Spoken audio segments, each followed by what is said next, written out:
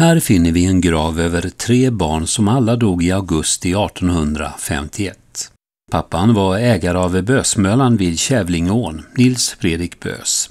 Det är efter honom möllan är uppkallad, men möllan hade redan då många hundra år på nacken. Möllan hade visserligen förstörts i samband med slaget vid Lund, men i slutet av 1600-talet fick en möllare tillstånd att återuppföra vattenkvarnen.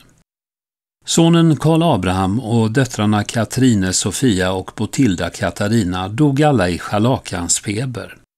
Det är lätt att förstå att man förr fruktade sjukdomen. Scharlakansfeber är idag lätt att behandla med hjälp av antibiotika, men ända fram till 1960-talet betraktades den som en mycket allvarlig sjukdom, som alltså bara på några dagar tog livet av de tre små barnen.